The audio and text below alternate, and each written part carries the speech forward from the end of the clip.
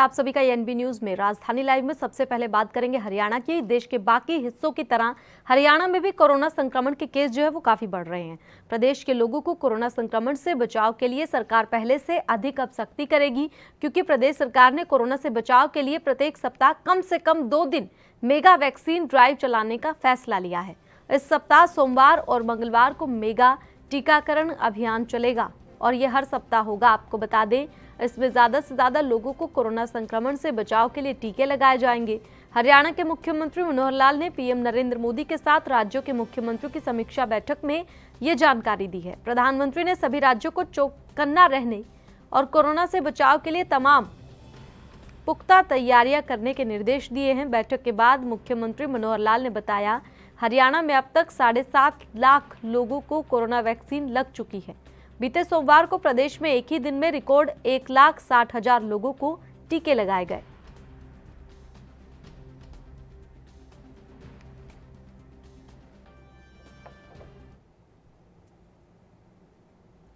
और ज़्यादा जानकारी देने के लिए हमारे साथ संवाददाता अभिषेक जुड़ गए। अभिषेक, जब पीएम के साथ बैठक हो रही थी तो और क्या कुछ जानकारी सीएम ने साझा की थी? कल जो है देश के प्रधानमंत्री नरेंद्र मोदी के साथ जो है कई मुख्यमंत्रियों की जो है वीडियो कॉन्फ्रेंसिंग के ज़रिए कोरोना को लेकर जो है बैठक थी। इसमें हरियाणा के मुख्यमंत्री भी शामिल थे। उसमें उन्होंने जो जानकारी दी प्रधानमंत्री को, उसमें यह है कि हरियाणा में सप्ताह में दो बार जो है मेगा वैक्सीन ड्राइव जो है चलाया जाएगा। ये जो मेगा वैक्सीन जो ड्राइव है, ये सोमवार और मंगलवार को चलाया जाएगा। इसमें विशेष कोरोना का टीकाकरण अभियान होगा ये। और अब तक जो उन्होंने जानकारी दी कि साढ़े सात लाख जो लोग हैं प्रदेश के, उस, उनको जो है कोरोना वैक्सीन जो है लगाई जा चुकी है और बीता जो सोमवार था, उसमें सबसे ज़्यादा जो है प्रदेश में वैक्सीनेशन का जो कार्य किया गया, एक पॉइंट छह लाख लोगों को जो है कल जो परसों यानी मतलब सोमवार को जो है अकेले सोमवार को जो है एक पॉइंट छह लाख लोगों को जो कोरोना वैक्सीन जो है वो दी गई। तो कोविड प्रोप्रिएटिव बिहेवियर पर अधिक ज़ोर दिया जाएगा। ये भी जो है, मुख्यमंत्री मनोहर लाल खट्टर ने जो है, इस वीडियो कॉन्फ्रेंसिंग के ज़रिए जो है जानकारी दी। वहीं प्रदेश में आरटीपीसीआर टेस्ट दर तिरानवे प्रतिशत और वहीं प्रतिदिन टेस्टिंग दर जो है, बढ़ा दी जाएगी। ये भी उन्होंने कहा इस तरह, पहले की तरह किए जाएँगे। बीस से पच्चीस तीस हज़ार जो टेस्ट है, पच्चीस से तीस हज़ार जो टेस्ट है, रोज जो ये इस तरह का जो तैयारियाँ की जा रही हैं कि पच्चीस तीस हज़ार जो टेस्ट है, प्रदेश में रोज किए जाएँगे। और वहीं जो है मुख्यमंत्री ने जो है अपील की है जनता से कि ज़्यादा से ज़्यादा मास्क और सोशल डिस्टेंसिंग का पालन करें और वहीं जो मास्क नहीं पहनेंगे, उन पर जो है सख्ती जो है सरकार की ओर से बरती जाएगी और वहीं उन्होंने जो सात साल से ऊपर या जो, गंभीर बीमारियों से पीड़ित हैं उनको लेकर भी मुख्यमंत्री ने अपील की है कि वो अपने नजदीकी स्वास्थ्य केंद्र या प्राइवेट अस्पताल जहाँ पर ये कोरोना वैक्सीन की सुविधा उपलब्ध है वहाँ पर जाके जो है अपना टीकाकरण का जो है कार्य जो है अमल में लाएँ। जी। अभिषेक, जिस तरह से कोरोना के मामले बढ़ते जा रहे हैं, हालाँकि हरियाणा से इतने मामले सामने नहीं है, लेकिन महाराष्ट्र, गुजरात में सबसे ज़्यादा मामले आ रहे हैं। तो ऐसे में क्या हरियाणा में जिस तरह से बाकी के राज्यों में नाइट कर्फ्यू की बात सामने आ रही है तो हरियाणा को लेकर क्या इस प्रकार की कोई जानकारी? इस तरह की अभी कोई भी जो है इंडिकेशन जो है हरियाणा सरकार की कहे या स्वास्थ्य विभाग की और से जो है नहीं है। अभी क्योंकि जो हरियाणा में जो कोरोना है, उसके संक्रमण के जो केसेस आ रहे हैं वो नाम मात्र के तौर पे उसको कहा जा सकता है। अगर अन्य राज्य जहाँ पर भारी भरकम संख्या में जो सामने आ रहे हैं उन, उनकी उनसे अगर तुलना करते हैं तो काफ़ी कम है क्योंकि इस समय जो रिकवरी जो रेट है हरियाणा का वो सत्तानवे पॉइंट तिरपन प्रतिशत जो है और इस समय मौजूदा एक्टिव जो केस है वो सैंतीस है। मतलब यानी कि चार पॉइंट जो पैंसठ प्रतिशत की दर से जो है कोरोना केस जो है हरियाणा में बढ़ रहे हैं। और वहीं फैकल्टी जो रेट है वो बहुत ही माइनस है। One point one one percent जो है। और जो कल की बात करें, बीते कल की तो 555 जो केस है, वो हरियाणा में जो है नए कोरोना के सामने आए वही जो सबसे ज़्यादा जो प्रभावित ज़िले रहे हरियाणा में, वो गुरुग्राम और करनाल रहे। गुरुग्राम में सत्तानवे और करनाल में इक्यासी। और वहीं जो तीन ऐसे ज़िले हैं हरियाणा में, जहाँ पर सबसे कम, यानी कि ज़ीरो प्रतिशत रहा उसमें चरखी दादरी महेंद्रगढ़ और नूह जिला ऐसा है जहाँ पर एक भी जो है नया केस नहीं आया। तो ये ज़रूर कहा जा सकता है कि हरियाणा में जो स्थिति है वो पूरे कंट्रोल में है। उस, उस जैसे अन्य राज्यों में स्थिति बनी हुई है उनसे कहीं ज़्यादा बेहतर स्थिति जो है हरियाणा में तो कहीं भी अभी इस तरह की स्थिति नहीं पैदा होती है कि हरियाणा में नाइट कर्फ्यू जैसी स्थिति लागू की जा सके। जी। जिस तरह से जब कोरोना आया था डॉक्टर्स की ओर से साफ़ तौर पर कहा जा रहा था कि जिन राज्यों में केसेस ज़्यादा रहे इसका मतलब वहाँ पर टेस्टिंग ज़्यादा हो रही है। और हरियाणा में अगर अब फ़िलहाल कम आ रहे तो क्या इसके पीछे वजह ये तो नहीं कि वहाँ पर टेस्टिंग कम हो रही है? जी देखिए अब टेस्टिंग जो है अब कह दिया है सरकार की ओर से ये आ, कहा गया है कि 25 से तीस हज़ार जो टेस्टिंग है वो रोज की जाएगी। तो अब उसमें अगर टेस्टिंग 25 से तीस हज़ार हो जाती है हरियाणा में तो ज़रूर जो है केस अगर इस तरह के संक्रमित हैं और वो नहीं सामने आ पा रहे हैं या टेस्ट नहीं करवाए जा रहे तो उनसे सामने आ जाएँगे। जल्द जो है अब ये टेस्टिंग जो है वो हरियाणा में बढ़ा दी जाएगी। तो उसके बाद जो ये स्थिति है, जैसे कि आपने सवाल किया, वो भी स्पष्ट हो जाएगा कि कहीं ऐसा नहीं कि टेस्ट कम हो रहे हैं, इस वजह से जो कोरोना के जो केस है, हरियाणा में कम आ रहे हैं। ये स्थिति अब बिल्कुल, अभिषेक देश भर में दूसरा, दूसरी लहर से कहा जा रहा है कोरोना वायरस की और मामले सामने क्योंकि काफ़ी आ रहे हैं। महाराष्ट्र की बात करें तो महाराष्ट्र में कहा जा रहा है कि जनता लापरवाह है, लापरवाही लगातार बढ़ती जा रही है, जिसके चलते इस तरह के मामले सामने आ रहे हैं। हरियाणा की अगर बात करें तो वहाँ पर बाजारों का क्या हाल है?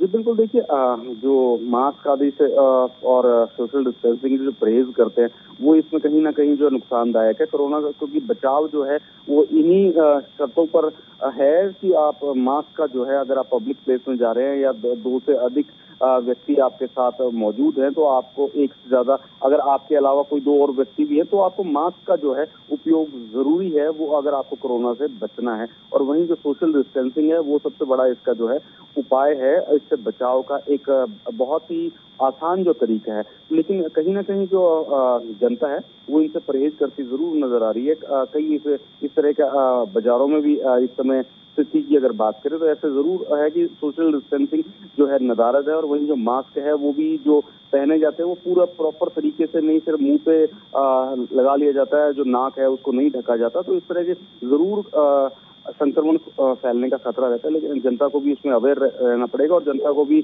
खुद इनिशिएटिव लेते हुए और ये खुद सोचते हुए अपना बचाव करने की क्योंकि सरकार सिर्फ़ जो है इलाज कर सकती है या फिर अपील कर सकती है, सख्ती कर सकती है, लेकिन करना ना करना ये जनता के हाथ में है तो इसलिए जनता को ज़रूर ये चैनल के माध्यम से अपील की जाएगी कि जो है कोरोना से बचाव के लिए ज़्यादा से ज़्यादा मास्क और सोशल डिस्टेंसिंग का उपयोग ज़रूर करना चाहिए। बिल्कुल, अभिषेक, ये अपील लगातार दर्शकों से की जा रही है। सोशल डिस्टेंसिंग का पालन करें, मास्क ज़रूर पहने, हाथों को सैनिटाइज बार बार करते रहे। अभिषेक, सवाल यहाँ पर यह भी बन रहा है कि महाराष्ट्र और अगर हरियाणा के बाजारों की तस्वीर एक जैसी है तो फिर महाराष्ट्र में इतने केसेस कैसे आ रहे हैं? हरियाणा में नहीं आ रहे तो उसके पीछे टेस्टिंग खैर अभी सामने आ जाएगी। लेकिन तस्वीरें मैं जानना चाह रही हूँ, हालाँकि शादियों की बात करें, होटल रेस्टोरेंट की बात करें, बाकी जगहों पर बंद कर दिए गए। लेकिन शादियों को लेकर और शोक समारोह को लेकर जो गाइडलाइंस जारी की गई है, क्या ऐसा कुछ हरियाणा में भी लागू किया गया है? देखिए जो अभी छूट जो है, काफ़ी तरह की जो है देश के साथ साथ हरियाणा में भी जो है, वो लागू है।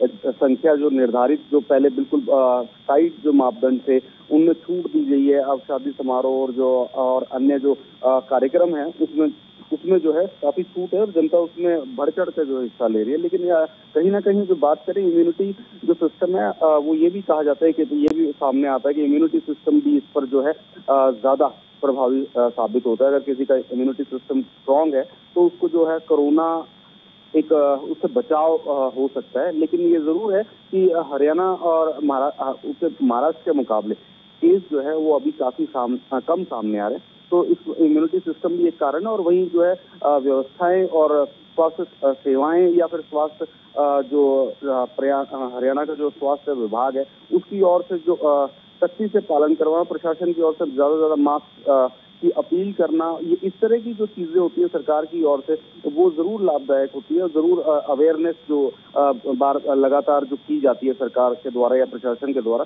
वो कहीं ना कहीं इसमें जो है सहयोग करती है। तो ज़रूर कोरोना के बचाव के ये एक मुख्य कारण रह सकते हैं हरियाणा में। और वहीं जो अब आने वाला जो समय है, उसमें सरकार की ओर से साफ़ तौर पर कहा गया है कि सख्ती बरती जाएगी। अगर कोई भी मास्क आदि का जो उपयोग नहीं करेगा, सोशल डिस्टेंसिंग अगर अगर पालन नहीं करेगा तो उसके खिलाफ जो है सख्त कार्रवाई की जाएगी। तो इस तरह का जो है सरकार की ओर से ऐलान किया गया और वहीं अपील भी की है कि ज़्यादा से ज़्यादा मास्क का उपयोग जो है जनता करे। इसमें लापरवाही और कोताही किसी तरह की भी जनता जो है ना बरते। तो यही कहा जा सकता है कि आने वाले समय में जो है वैक्सीनेशन का जो कार्य है, सरकार की ओर से जो लगातार बढ़ाया जाएगा और वही टेस्टिंग की जो है, पच्चीस से तीस हज़ार जब टेस्ट रोज होंगे तो कोरोना के जो केस है, वो भी ज़रूर इनमें इजाफा भी हो सकता है और ये क्लियर भी हो सकता है कि जो कहीं जो खामी या इम्यूनिटी सिस्टम का इसमें जो तालमेल है, वो भी देखा जा सकता है। अभिषेक सरकारी कार्यक्रमों की बात करें अगर कार्यक्रम जो हो रहे हैं रैलियाँ हो रही हैं इस वक्त चुनाव है पाँच राज्यों में। ऐसे में उस दौरान सोशल डिस्टेंसिंग का पालन कितना हो रहा है ये सबसे बड़ा सवाल है। हरियाणा की बात करें वहाँ पर अगर किसी नेता मंत्री का कोई कार्यक्रम होता है वहाँ पर तस्वीरें कैसे देखने को मिलती है? क्या नेता मंत्री पालन करते दिखाई दे रहे हैं? जी देखिए हाँ, वैसे तो अमूमन जैसे कोई भी अगर हम उदाहरण के तौर पर अगर पत्रकार वार्ता प्रेस कॉन्फ्रेंस का ज़िक्र करते हैं तो ज़रूर उसमें जो नेता है, इस बात के लिए मैसेज देते हैं, ज़रूर दिखते हैं कि आप हमने मास्क पहने हुए दिखते तो इससे एक जनता के लिए अवेयरनेस का ये भी एक कार्यक्रम है कि जब नेता मास्क पहने रहता है, जो सामने वाला बैठा होता है तो उसको देखकर भी मास्क की याद आ जाती है और पहनना भी चाहिए। तो ऐसा नहीं है कि जो नेता हैं या उनके जो कार्यक्रम है, उसमें मास्क जो है बिल्कुल ही नजारत रहता है। क्योंकि अब जो कोरोना की सेकेंड जो ड्राइव है, अब जो लगातार फैल रहा है, जिस तरह की जानकारी मिल रही है, जिस तरह की खबरें आ रही है, जिस तरह से बढ़ रहा है ये तो उसको देखते हुए जनता भी जो है शहरों में ज़्यादा अवेयर है। ग्रामीण इलाकों में ज़रूर इसको ध्यान देने की ज़रूरत है, क्योंकि ग्रामीण इलाकों में जो है मास्क आदि और सोशल डिस्टेंसिंग पर ज़्यादा तवज्जो नहीं दी जाती तो सरकारों को ज़रूर ग्रामीण इलाकों पर फोकस करना चाहिए। शहर शहरी जो इलाके हैं, वहाँ पर ज़रूर मास्क और सोशल डिस्टेंसिंग सख्ती से और खुद अवेयर है जनता इस बात के लिए। तो कहीं ना कहीं जो है प्रदेश सरकार को जो ग्रामीण इलाके हैं या जो कस्बे आदि हैं, वहाँ पर जो है अवेयरनेस कार्यक्रम और सख्ती से जो पालन करवाने वाली जो सरकार की ओर से फैसला ज़रूर करना चाहिए।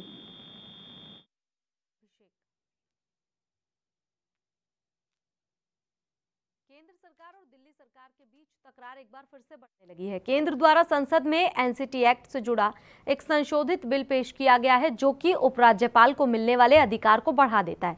ऐसे में आम आदमी पार्टी इस मसले को विरोध तेज कर रही है। आम आदमी पार्टी साफ़ तौर पर प्रदर्शन करते हुए कह रही है कि इस तरह से तो मुख्यमंत्री का कोई मतलब ही नहीं रह जाएगा। पार्टी द्वारा आयोजित धरने में शामिल होने के लिए सीएम अरविंद केजरीवाल जंतर मंत्र पर पहुँचे थे। उन्होंने मंच से केंद्र सरकार पर निशाना साधा। सीएम ने कहा, केंद्र के इस बिल से दिल्ली के लोग दुखी हैं। जंतर मंत्र से सीएम केजरीवाल ने ये कहा, अगर एलजी ही सरकार है तो दिल्ली में चुनाव का क्या मतलब है? दिल्ली में बीजेपी ने सरकार गिराने की कोशिश की है। ये लोग देश में सरकार गिराने के लिए जाने जाते हैं। केजरीवाल ने यह भी कहा, उस कानून में लिखा है कि दिल्ली सरकार का मतलब एलजी होगा, फिर हमारा मतलब क्या होगा? हमारे साथ धोखा हो गया है। इससे दिल्ली के लोगों में गुस्सा है। दिल्ली में एमसीडी में उनको ज़ीरो सीट मिली। आम दिल्ली की जनता कह रही है, हमको आम आदमी पार्टी चाहिए, लेकिन ये चोरी से दिल्ली में राज करना चाहते हैं। एक छोटा बच्चा क्रिकेट हार गया तो बल्ला बोल लेकर भाग गया। वैसे ही ये जनता का राज खत्म करना चाहते हैं।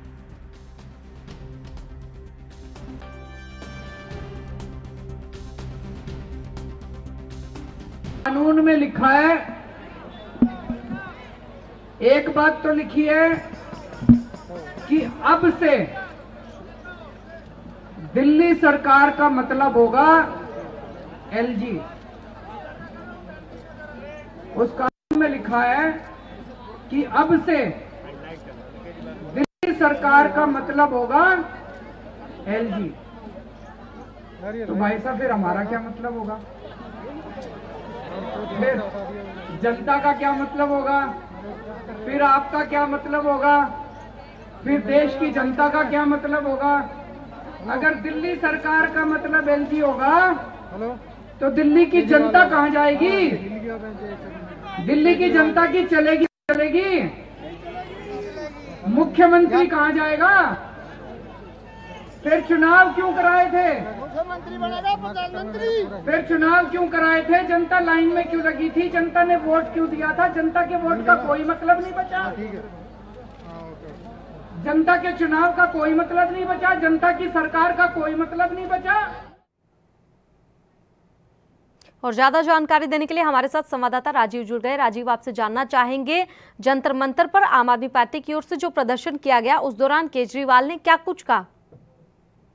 देखिए बिल्कुल तय जिस तरीके से अरविंद केजरीवाल ने ये जंतर मंतर पे कहा वो कहीं ना कहीं केंद्र सरकार के ऊपर निशाना साधते हुए कहा कि, कि केंद्र सरकार कहीं ना कहीं दिल्ली के अंदर अपना एलजी के द्वारा कहीं ना कहीं अपना दबदबा बनाना चाहती है और कहीं ना कहीं दिल्ली सरकार का जो कह सकते हैं रुतबा है उसे खत्म करने की कोशिश की जा रही है। मगर जिस तरीके से आम जनता की बात करें तो आम जनता के लिए भी यही कहा गया कि आम जनता का जो अधिकार है जो दिल्ली सरकार उनको दे रही है उसको छीनने के लिए केंद्र सरकार इस तरीके की रणनीति अपना रही है और चुनाव को मद्देनजर रखते हुए ही इस तरीके के कह सकते हैं, दाव दाव खेले जा रहे हैं। मगर बात करें जिस तरीके से आम आदमी पार्टी की तो आम आदमी पार्टी ने जिस तरीके से कह सकते हैं केंद्र सरकार के ऊपर आरोप लगाया तो केंद्र सरकार की तरफ़ से जो भाजपा के दिल्ली प्रदेश अध्यक्ष आदेश गुप्ता जी, उन्होंने भी कहीं ना कहीं केंद्र सरकार, दिल्ली सरकार के ऊपर आरोप लगाया कि दिल्ली सरकार के काम नहीं किए जा रहे दिल्ली सरकार से, इसलिए केंद्र सरकार की तरफ़ आरोप लगाए जा रहे हैं। और कहीं ना कहीं इसको देखते हुए, मद्देनजर देखते हुए साफ़ ज़ाहिर होता है कहीं जिस तरीके से चुनाव का मद्देनजर चल रहा है, यानी कि 2022 के जो चुनाव है निगम के, उसको मद्देनजर रखते हुए एक दूसरे के ऊपर आरोप प्रत्यारोप लगाए जा रहे हैं। मगर एक चीज़ स्पष्ट है, जिस तरीके से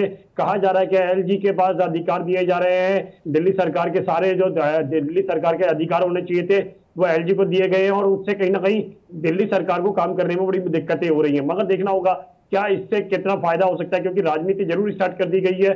मगर जनता को कितना फ़ायदा होने वाला है ये ज़रूर देखना होगा जी। बिल्कुल राजीव बात करें एलजी के अधिकारों की और मुख्यमंत्री के अधिकारों की। ये विवाद पहले से चलता आ रहा है और ऐसे में सुप्रीम कोर्ट ने भी इस मामले में दखल दिया था और अधिकारों को बांट दिया था। तो उसके बाद संशोधन की ज़रूरत आखिर क्यों पड़ रही है? क्या लगता है देखिए बिल्कुल सही कहा आपने। यहाँ पर एक चीज़ समझनी होगी क्योंकि दिल्ली सरकार जब 2014 के अंदर आई थी तो कहीं ना कहीं यही आरोप बार बार अरविंद केजरीवाल जी की तरफ़ से लगाए गए थे कि एलजी उनको काम नहीं करने दे रहे और दिल, केंद्र सरकार जो है वो उनको कम ना कहीं उनके कामों में रोड़े अटका रही है। मगर जिस तरीके से बात करें, हर बार की तरह ये भी इस बार भी यानी कि चुनाव के मद्देनजर रखते हुए उस चुनाव से ठीक पहले ही इस तरीके के आरोप लगाए जाते हैं कि दोबारा से एलजी को दिल्ली की सरकार की जो सारे कह सकते हैं, अधिकार है वो दिए जा रहे हैं और केंद्र सरकार दिल्ली के अंदर पिछले दरवाजे से आने की कोशिश कर रही है। मगर क्योंकि जिस तरीके से अरविंद केजरीवाल ने कहा था, उससे साफ़ ज़ाहिर है, कहीं ना कहीं जो कानून लेके आया जा रहा है वो सिर्फ़ इसीलिए लेकर आया जा रहा है क्योंकि दिल्ली सरकार के जितने भी अधिकार होंगे, क्योंकि दिल्ली सरकार सिर्फ़ के कह सकते हैं, अधिकारी के तौर पर काम करेगी और जो फ़ाइल पर साइन कराने होंगे या फिर हस्ताक्षर चाहिए होंगे, वो कहीं ना कहीं एल मोहर लगाएँगे और एलजी के बाद ही उसको काम को किया जा सकता है। मगर कहीं ना कहीं इसके अंदर एक राजनीति ज़रूर है। मगर राजनीति के अलावा कुछ भी नज़र नहीं आ रहा। मगर हाँ ये ज़रूर है कि जिस तरीके से दिल्ली सरकार ने जनता के बारे में काम कुछ किए हैं चाहे बिजली बिजली फ्री को लेकर हो या फिर पानी फ्री को लेकर हो या महिलाओं की सुरक्षा को लेकर हो, जो बसों के अंदर किराया फ्री दिया गया और यहाँ तक कि इंटरनेट या वाईफाई फ्री दिया गया तो उससे कहीं ना कहीं दिल्ली सरकार काम करती नज़र आ रही है, मगर कहीं ना कहीं भाजपा जो है, वो कहीं ना कहीं दिल्ली सरकार के रास्तों में रोड़े रोड़े अटका रही है और जिस तरीके से कहें कि एलजी को सारे अधिकार दिए जा रहे हैं। हाँ एल के पास जितने अधिकार होने चाहिए थे, उतने ज़रूर होने चाहिए थे, मगर दिल्ली सरकार के पास भी कुछ अधिकार होने चाहिए थे, मगर दिल्ली सरकार बार बार कह रही है कि उनके अधिकार छीनकर एल को दिए जा रहे हैं। जी। बिल्कुल राजीव अगर सारे अधिकार एलजी के पास ही चले जाएँगे तो मुख्यमंत्री का तो कोई मतलब ही नहीं रह जाएगा। कायदे से तो वहाँ पर राष्ट्रपति शासन ही लागू हो जाएगा। तो ऐसे में चुनाव का तो कोई अहमियत या चुनाव का कोई मतलब ही नहीं रह जाएगा। देखिए बिल्कुल सही कहा आपने। यहाँ पर अरविंद केजरीवाल जी ने कल जो जंतर मंतर पे कहा उसके अंदर एक चीज़ और स्पष्ट की गई है अगर दिल्ली केंद्र सरकार को दिल्ली सर, दिल्ली का राज्य जो है यानी कि एलजी के हाथ में ही देना है तो फिर दिल्ली के अंदर चुनाव कराने की ज़रूरत ही नहीं पड़ती है क्योंकि फिर दिल्ली सरकार का रोल ही नहीं आता यहाँ पर और जिस तरीके से अरविंद केजरीवाल ने खुद कहा कि केंद्र सरकार पिछले दरवाजे से आना चाहती है तो साफ़ ज़ाहिर होता है कहीं ना कहीं दिल्ली जो भाजपा की मंशा है वो यही नज़र आती है क्योंकि जिस तरीके से एलजी को सारे अधिकार दिए जा रहे हैं तो फिर दिल्ली सरकार का तो कोई रोल ही नहीं बनता ना ही चुनाव कराने की ज़रूरत पड़ती है और ना सीधे सीधे कहे तो फिर भाजपा का ही दबदबा बनेगा। मगर कहीं ना कहीं इसके अंदर यही ज़रूर है जिस तरीके से सारे अधिकार एलजी को दिए जा रहे हैं तो उससे कहीं ना कहीं राष्ट्रपति शासन ही चलता है और कहीं ना कहीं केंद्र सरकार डायरेक्ट कह सकते हैं हस्तक्षेप करती है। मगर जिस तरीके से बात करें दिल्ली सरकार की तो दिल्ली सरकार के पास फिर कोई अधिकार नहीं रह जाएगा। सिर्फ़ एक अधिकारी के तौर पर एक कह सकते हैं कि फ़ाइल बनाई जाएगी और फ़ाइल को सिर्फ़ एलजी को दे दिया जाएगा और एलजी अगर उस पर मोहर लगा देते हैं तो फिर काम करने के लिए यानी जो कर्मचारी हैं उनका अधिकार ही दिल्ली सरकार पर रहेगा। मगर जिस तरीके से बात करें दिल्ली सरकार की तो दिल्ली सरकार के हाथ में ऐसा कुछ भी नहीं रह जाएगा जो केंद्र सरकार की तरफ़ से कानून लेके आया जा रहा है। अगर कानून आ जाता तो साफ़ ज़ाहिर है कहीं ना कहीं दिल्ली सरकार कुछ नहीं कर पाएगी इसके अंदर। अगर जिस तरीके से चुनाव का समय और चुनाव के समय के मद्देनजर रखते हुए पहले मनोज सिसोदिया ने केंद्र सरकार के ऊपर हमला बोला था फिर उसके बाद में आक्रोश प्रदर्शन करके द्वारा अरविंद केजरीवाल जी ने कहीं ना कहीं केंद्र सरकार के ऊपर आरोप लगाया तो उससे साफ़ ज़ाहिर है कहीं ना कहीं चुनाव के मद्देनजर रखते हुए एक दूसरे के ऊपर आरोप प्रत्यारोप ज़रूर लगाए जा रहे हैं, मगर कहीं ना कहीं एलजी को बीच में रखकर कहीं ना कहीं राजनीति ज़रूर की जा रही है इसके अंदर राजीव, विपक्ष साथ देता दिखाई दे रहा है आम आदमी पार्टी का इस वक्त। तो प्रदर्शन जब किया गया कल जंतर मंत्र पर तो वहाँ पर कौन कौन दिखाई दिया? सिर्फ़ आम आदमी पार्टी के सांसद, विधायक, नेता, मंत्री, कार्यकर्ता ही थे, या फिर विपक्ष के भी वहाँ पर लोग थे, या आम जनता भी थी? कौन कौन वहाँ पर था?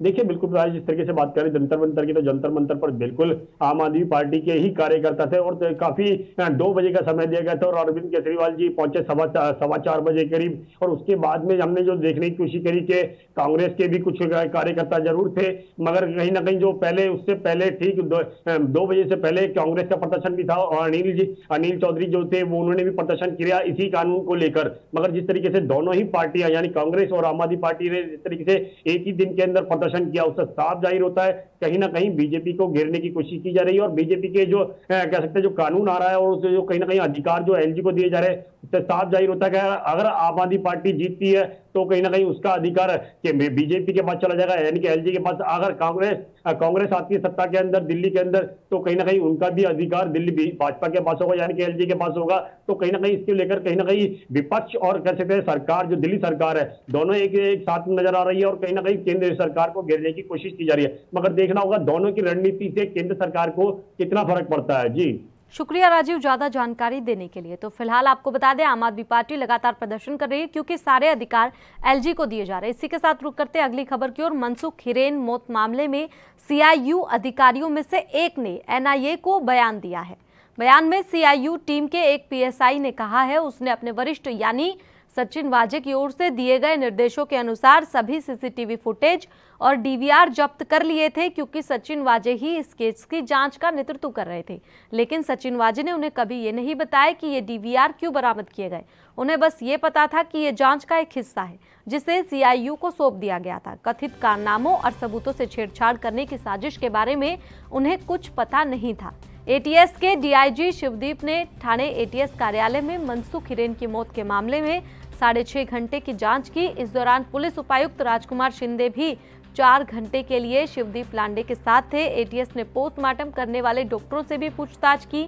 डॉक्टर और पुलिस के साथ एटीएस के एक वरिष्ठ अधिकारी ने भी पूछताछ की। एटीएस के मुताबिक मंसूर मनसुख हिरेन मामले में सही दिशा में जाँच चल रही है।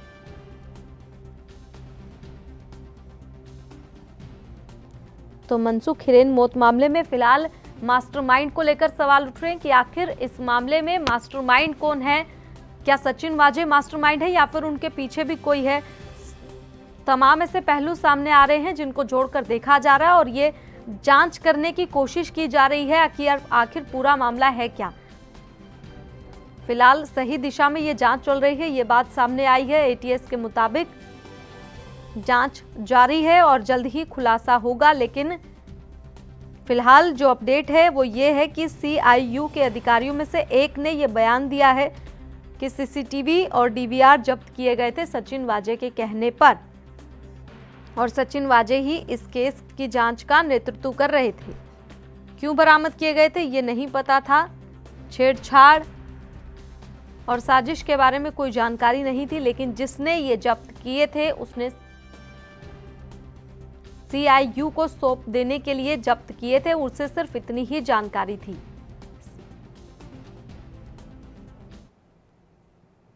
और ज़्यादा जानकारी देने के लिए संवाददाता हमारे साथ सत्यप्रकाश लाइव जुड़ गए। सत्यप्रकाश, आपसे जानना चाहेंगे कि किन किन एंगल से जाँच हो रही है, पेज कहाँ फंस रहा है, क्योंकि काफ़ी संजीदा ये मामला हो गया इस वक्त। देखिए, हिमांशी मामले की जाँच लगातार जो है एटीएस और एनआईए दोनों पैरेलल कर रही है। एटीएस जो है किरण जाँच कर रही है वही एनआईए जो है जिस तरह से जिलेटिन से भरी स्कॉर्पियो बरामद की थी उसकी जाँच कर रही है। ठीक। इस दौरान एपीआई सचिन वाजे की गिरफ्तारी के बाद तमाम अहम सुराग एनआईओ के मिले हैं। वहीं एटीएस लगातार मनसुख की मौत की जाँच कर रही है।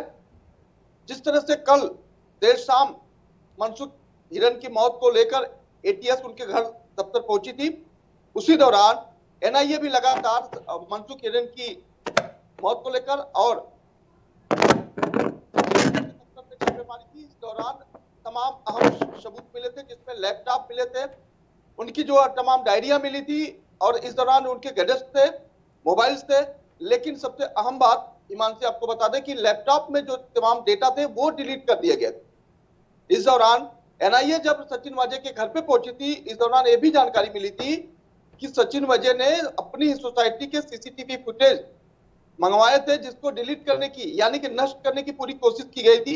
हालाँकि यह सीसीटीवी फुटेज सीआईओ की लेटर हेड के बाद मंगवाया गया था, जिसमें उन्हीं के अधिकारी काजी ने साफ़ तौर पर कहा है कि उनको इस विषय में कुछ पता नहीं था कि सचिन वजय आखिरकार अपनी सोसाइटी का फुटेज क्यों मंगवा रहे हैं।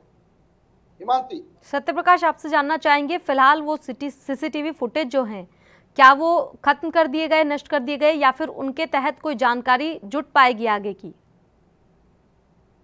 देखिए एनआईए के साफ़ तौर पे कहना है कि सीसीटीवी फुटेज का जो डीवीआर था, उसको नष्ट करने की कोशिश की है, लेकिन रिट्रीट करने की व्यवस्था जो है एनआईए के पास है, वो फॉरेंसिक टीम की मदद से उसको रिट्रीट करेगी, उसके बाद जो है इसका अहम बड़ा खुलासा करेगी। लेकिन जिस तरह से मर्सिडीज कार में पौने छह लाख रुपए के साथ पीपी किट और तमाम मशीनें बरामद की गई है जिसमें पैसे काउंट करने की मशीनें बरामद की। जैसा कि आप देख पा रहे थे कि विपक्ष लगातार ये आरोप लगा रहा है कि आखिर सचिन वाजे किसको कितना पैसा देना चाहते थे? सचिन वाजे के पास ये मशीन क्यों आई? जो पैसे गिनने की ज़रूरत पड़ी। तो ऐसे में तमाम सवाल उठते हैं कि सचिन वजय ने इतने बड़े आ, आ, मामले को अकेले अंजाम दिया है या फिर और भी उनके साथ कई लोग हैं? बिल्कुल, सत्यप्रकाश, सवाल यहाँ पर ये उठ रहा है कि आखिर मास्टरमाइंड कोई और है या सचिन वाजे ही इसके मास्टरमाइंड थे पूरे? क्योंकि जिस तरह से सफ़ेद कुर्ते पजामे में दिखाई दे रहे अभी तक हालाँकि साफ़ नहीं हुआ है। लेकिन क्या वो सचिन वाजे थे? इस बारे में कोई और जानकारी? देखिए, एनआईए के साफ़ तौर पे कहना है कि पूछताछ में उन्होंने ये कबूला है कि वो सफ़ेद कुर्ते पैजामे की जो बात की जा रही है, पीपी किट की बात की जाए, वो खुद उन्होंने कबूला कि मैं ही हूँ। लेकिन वो पीपी किट नहीं है, बल्कि एक सफ़ेद पैजामा कुर्ता है जिसकी ये ढिलाई है। वही दूसरी तरफ़ हिमांशी आपको एक अहम बात बता दे कि जैसे ही सचिन वजय की गिरफ्तारी होती है उनकी जाँच होती है उसके बाद आनंद फानंद में महाराष्ट्र सरकार ने यहाँ के आयुक्त परमवीर सिंह को तबादले कर दिए हैं। अब तबादले के बाद कहीं न कहीं एनआईए की शक की सुई है परमवीर सिंह के ऊपर है। हालाँकि ये भी बताया जा सकता है कि एनआईए कभी भी परमवीर सिंह को तलब कर सकती है क्योंकि मनसुख हिरन की मौत के मामले की जाँच लगातार सचिन वाजे कर रहे थे। इसकी रिपोर्टिंग खुद सचिन वाजे, परमवीर सिंह को दे रहे थे। तो ज़ाहिर तौर पर तमाम खुलासे होने की आशंका है। ठीक शुक्रिया हमारे साथ जुड़ने के लिए, अपनी राय देने के लिए, जानकारी देने के लिए। तो फ़िलहाल अपडेट आपको दी गई है लगातार इस मामले पर और अपडेट आपको देते रहेंगे। फ़िलहाल राजधानी लाइव स्पेशल बुलेटिन में इतना ही। आप देखते रहें एएनबी न्यूज़ नमस्कार।